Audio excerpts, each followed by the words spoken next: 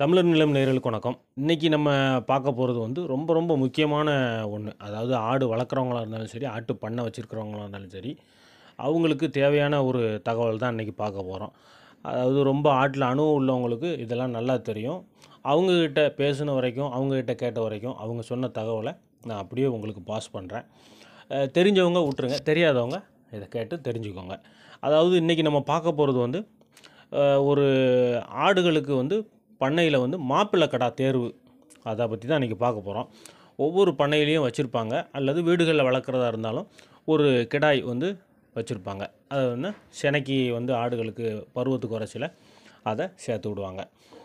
அந்த கிடா வந்து எப்படி செலக்ட் பண்ணணும்? எப்படி இருந்தால் நல்லது? அப்படிங்கிறத பற்றி தான் பார்க்க போகிறோம் இந்த மாப்பிள்ளை கிடாய்க்கு என்ன வேலைன்னா ஒரே வேலை தான் ஆடுகளை சினையாக்குறது அந்த வேலை தான் மட்டும்.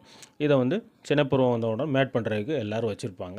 இந்த மேட்டிங் பர்பஸுக்காண்டி வெளியூர்கள் வெளி மாநிலங்கள் வெளிநாடுகள்லேருந்து கூட சில பண்ணைகளில் வந்து கொண்டு வந்து வச்சுருப்பாங்க. சில காலங்கள் வச்சுருந்துச்சி அப்புறம் அதை மாற்றி விடுவாங்க. அதை பற்றி தான் இன்றைக்கி நம்ம பார்க்க போகிறோம் எப்படிலாம் தேர்வு பண்ணலாம்? எப்படி இருந்தால் நமக்கு பண்ணையில் நல்ல தரமான குட்டிகள் வந்து விழும் அப்படிங்கிறத இன்றைக்கி விலாவரியாக பார்க்க போகிறோம் எப்படி இதை வந்து முதல்ல தேர்வு செய்யணும்? எப்படி தேர்வு செய்யணும் அப்படின்னு பார்த்தீங்கன்னா முதல்ல வந்து கிடா வந்து நல்ல உயரமான கிடாவாக பார்த்து வாங்கணும். அதுக்காண்டி ரொம்ப உயரமாக பார்த்து காய் அடித்த கிடா வாங்கிறாங்க காய் அடிக்காத கிடாவை நல்ல உயரமான மீடியம் சைஸில் தான் இருக்கும். காய் அடித்து விட்டால் இன்னும் உயரமாக போயிடும் அதனால் மீடியம் சைஸில் இருக்கிறாப்புல ஒரு கடாவை பார்த்து வாங்கிடுங்க.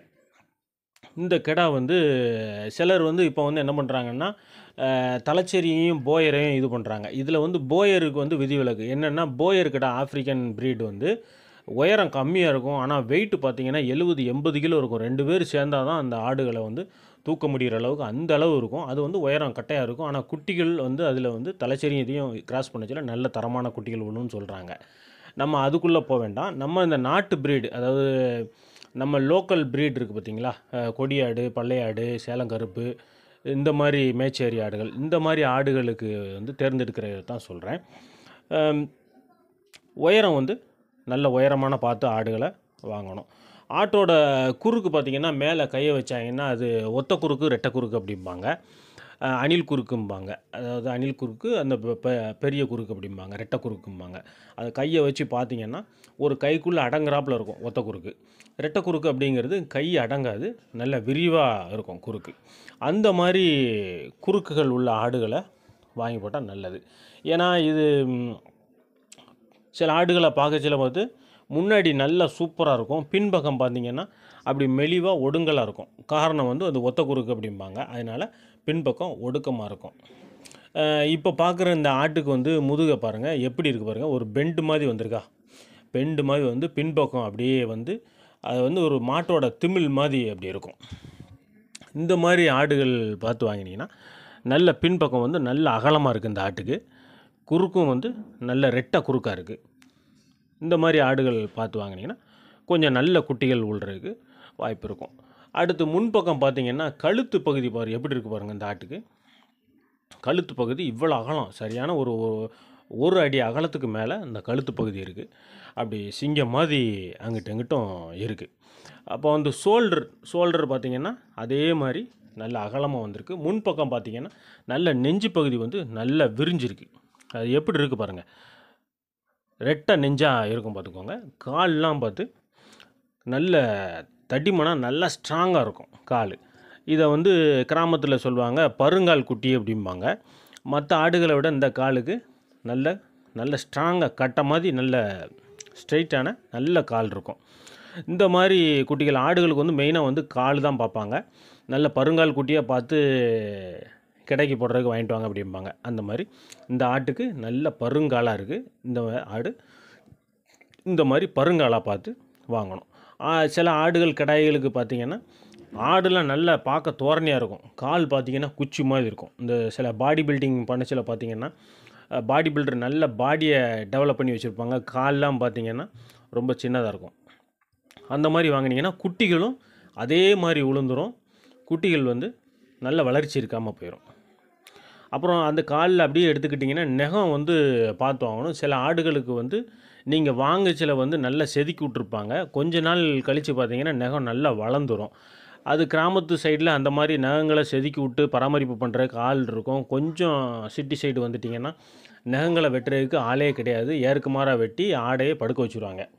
அதனால் கால் நகங்கள் வந்து கரெக்டாக இருக்கணும். சில நீங்கள் வாங்கச்சில நல்லா கவனமாக பார்க்கணும். சில ஆடுகளுக்கு வந்து நகம் வந்து கீறல் விட்ருக்கும் லைட்டாக தானே இருக்குன்னு பார்த்தீங்கன்னா அப்படியே விரிஞ்சிடும் கஷ்டமாக போயிடும் கால் ஊனாது. ஒரு ஒரு பத்து நாள் பதினஞ்சு நாள் ஆடு நடக்காமல் இருந்துச்சுன்னா நகம் வளர்ந்துடும் அப்புறம் ஆடு வேஸ்ட்டாக போயிடும் அதனால் நகங்களை வந்து பார்த்து வாங்கணும். நகங்கள் வந்து வளர்ந்துருக்கா? கீறல் விட்ருக்கா அந்த மாதிரி பார்க்கணும். காலில் எதுவும் புண்ணு இருக்கா? சில ஆடுகளுக்கு புண்ணு வந்துக்கிட்டே இருக்கும் காலில்.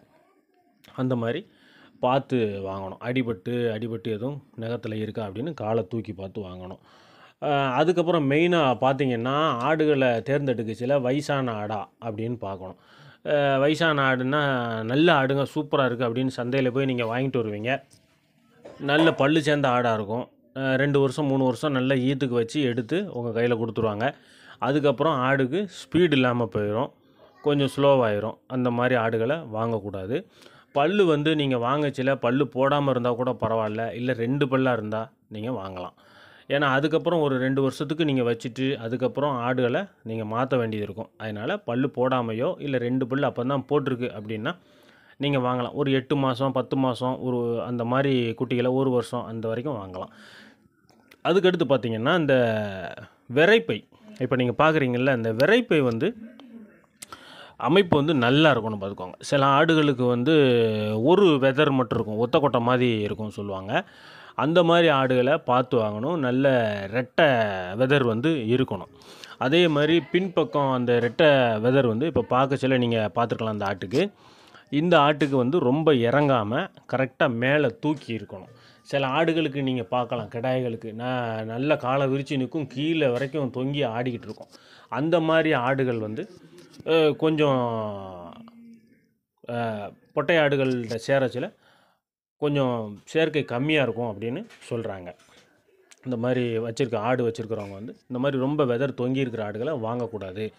நல்ல கொஞ்சம் ஏறி நல்ல தூக்கி இருக்கிறாப்புல ஆடுகளை வாங்கினீங்கன்னா நல்ல இளம் ஆடுகளாக இருக்கும். அதிகமான அந்த ஜோடி சேராமல் கொஞ்சம் பக்குவமாக இருக்கும் அப்படின்னு சொல்கிறாங்க அதுக்கடுத்து பார்த்திங்கன்னா கலர். நம்ம ஒயிட்டாக வாங்கினோம்னா நல்லா இருக்குமே பார்க்க பார்வையாக இருக்குமே அப்படின்னு சொல்லுவாங்க. இல்லைன்னா கருப்பாக வாங்கணுமே அப்படின்னு நல்ல குட்டியாக கருங்குட்டியாக விழுமே அப்படின்னு சொல்லுவாங்க. ஆனால் இவங்க என்ன சொல்கிறாங்க அப்படின்னு பார்த்தீங்கன்னா நாங்கள் தேர்ந்தெடுக்கிற ஆடுகள் வந்து மூணு கலரில் இருக்கும். கருப்பு இருக்கும் செவலை இருக்கும் வெள்ளை இருக்கும் செவலையிலே கரும் ச- இது இருக்கும். அந்த மாதிரி மூணு கலரில் இருக்கிற குட்டிகளை பெரும்பாலும் நாங்கள் வந்து இந்த மாப்பிள்ளை கடாயாக தேர்ந்தெடுப்போம். அப்போ தான் குட்டிகள் வந்து நல்ல விதவிதமாக குட்டி விழும் கருப்பு குட்டி விழும் செவலை குட்டி விழும் வெள்ளை குட்டி விழும் நல்ல குட்டிகளாக எங்களுக்கு வந்து அதாவது ஒரு குட்டியை பார்த்தீங்கன்னா அடுத்த குட்டி வந்து வேறு மாதிரி இருக்கும். அந்த மாதிரி சொல்கிறாங்க நல்ல வெரைட்டிஸாக குட்டிகள் உள்றதுக்கு அதிக வாய்ப்புகள் இருக்குது அந்த மாதிரி மூணு கலரில் தேர்ந்தெடுத்தீங்கன்னா அப்படிங்கிறாங்க. அதே மாதிரி வால் அமைப்பு பார்த்தீங்கன்னா ஆடுகளுக்கு சில ஆடுகளுக்கு பார்த்தீங்கன்னா குறுக்க விட்டு வெளியே வந்த உடனே பார்த்தீங்கன்னா வால் அமைப்பு நின்றும். அந்த மாதிரி ஆடுகளை வாங்காமல் வால் நல்ல தோகையாக நல்ல பெருசாக இருக்கிற மாதிரி அந்த வால் அமைப்பு உள்ள ஆடுகளை தேர்ந்தெடுக்கணும் அப்படிங்கிறாங்க. சரிங்க. இது எல்லாம் சொல்லிட்டீங்க. சரி நான் என்கிட்ட பத்து இருபது இருக்குது ஆடுகள். எத்தனை நான் மாப்பிள்ளை கடாயாக வைக்கணும் அப்படின்னு பார்த்தீங்கன்னா சிலர் வந்து பத்து ஆடுகளுக்கு ஒரு மாப்பிள்ளை கடாயை வைக்கிறாங்க. சிலர் பதினஞ்சு வரைக்கும் வைக்கிறாங்க. சிலர் வந்து இருபது வரைக்கும் வைக்கிறாங்க. ஆனால் மேக்ஸிமம் ஒரு பதினஞ்சு வரைக்கும் வச்சா அந்த ஆடுகள் வந்து அதிக யூசேஜ் ஒரு ரெண்டு வருஷம் மூணு வருஷம் நம்ம வச்சு நம்ம யூஸ் பண்ணிக்கலாம். அதிகமான அந்த ஆடுகளை போட்டு சிரமப்படுத்திங்கன்னா குட்டிகளும் கொஞ்சம் மெலிவாக உள்றதுக்கு வாய்ப்புகள் இருக்குது செனை பிடிக்காமல் போகிறதுக்கும் வாய்ப்புகள் இருக்குது தீவனங்கள் வந்து இந்த ஆடுகளுக்கு வந்து தனிப்பட்ட முறையில் வந்து மற்ற ஆடுகளை காட்டிலும் கூட கொஞ்சம் தீவனங்கள் கொடுக்குறாங்க. மக்காச்சோளத்தை ஊற வச்சுலாம் கொடுக்குறாங்க. பருத்தி கொட்டெல்லாம் சிலர் கொடுக்குறாங்க. இந்த ஆடுகளை வந்து தேர்ந்தெடுக்கிறதே பார்த்தீங்கன்னா வம்சாவளியை பார்த்து தேர்ந்தெடுக்கிறாங்க. அதாவது இந்த ஆடுகள் வந்து இப்போ நீங்கள் பார்க்குற இந்த ஆடு வந்து மூணு குட்டி வர்க்கத்தில் உள்ளது. இவங்க லைனேஜாக இந்த பாரம்பரியத்தை பாதுகாத்துட்டே வராங்க. ரெண்டு வருஷம் வைப்பாங்க. அதில் மற்ற குட்டிகள்லேருந்து ஒரு குட்டிகளை தேர்ந்தெடுத்து நல்ல பருவத்துக்கு வந்தோடனே இதை அப்படியே கழிச்சு விட்ருவாங்க அந்த மாதிரி தேர்ந்தெடுக்கிறாங்க. அதனால் இந்த ஆடுகளில் உள்ற ஜோடி சேர்க்குற பெட்டை ஆடுகளுக்கு வந்து மூணு குட்டிகள் உள்றதுக்கு நிறைய பாசிபிலிட்டிஸ் இருக்குது அப்படின்னு அந்த ஆட்டுக்காரங்க சொல்கிறாங்க அதனால் கலர் வந்து தேர்ந்தெடுக்கிறது வந்து இப்படிப்பட்ட கலர் தேர்ந்தெடுக்கணும் அப்படிங்கிறாங்க. பண்ணைகளில் வந்து சில பண்ணைகளில் வந்து மாப்பிள்ளை கடையை கட்டியே வச்சுருப்பாங்க. இல்லை தனியாக ஒரு ஷெட்டில் அடைச்சி வச்சுருப்பாங்க. சில பண்ணைகளில் பார்த்திங்கன்னா ஓப்பனாகவே அந்த ஆடுகள் கூட விட்டுருவாங்க இதில் என்ன பிரச்சனை வரும் அப்படின்னு சொல்கிறாங்க அப்படின்னு கேட்டிங்கன்னா இந்த மாப்பிள்ளை கடா வந்து மற்ற ஆடுகள் கூட சேர்ந்து இருக்க சில வந்து இப்போ ஒரு ஆடுக்கு சினையாகி குட்டி போடுது அப்படின்னா சில ஆடுகள் வந்து குட்டிகளை மூணு மாதம் வரைக்கும் நல்லா வளர்த்து பால் கொடுத்ததுக்கு அப்புறம் தான் மூணு மாதம் நாலு மாதத்துக்கு அப்புறம் தான் சில ஆடுகள் வந்து சினைப்பருவத்துக்கு வரும். அந்த ஆடுகள் கூட இணை சேர சம்மதிக்கும். சில ஆடுகள் பார்த்திங்கன்னா குட்டி போட்ட ஒரு பத்து நாள் பதினஞ்சு நாள்லேயே மறுபடியும் அந்த கிடாய்கள் உளுந்து மறுபடியும் செனை ஆயிரும் கர்ப்பம் ஆயிரும் அதனால் அந்த குட்டிகள் போட்ட குட்டிகளை வந்து சரியாக வளர்க்க முடியாமல் போயிடும் அதனால ச ஆடுகளை வந்து இந்த கிடாய்களை வந்து கெட்டிலே போட்டிருப்பாங்க. அந்த பருவத்துக்கு வந்த ஆடுகள் தன்னாலே வந்து அந்த கிட்ட வரும். அப்போ வந்து ஜோடி சேர்த்து விட்ருவாங்க இதுவும் வந்து அவங்க சொன்ன ஒரு தகவல். நேர்களே இவ்வளோ நேரம் வந்து இந்த மாப்பிள்ளை கடாவை பற்றி எனக்கு தெரிஞ்சதை சொன்னேன் கேட்டதை சொன்னேன் அறிஞ்சதை சொன்னேன். ஆடுக்காரங்கிட்ட கேட்டதை உங்கள்கிட்ட பகிர்ந்துக்கிட்டேன். இதில் எதுவும் குறைகள் இருந்தால் எனக்கு தெரியப்படுத்துங்க. நிறைகள் இருந்தால் மறக்காமல் எனக்கு கமெண்டில் சொல்லுங்கள் நேர்களே மீண்டும் இன்னொரு நல்ல வீடியோவோட உங்களை சந்திக்கிறேன். நன்றி வணக்கம்.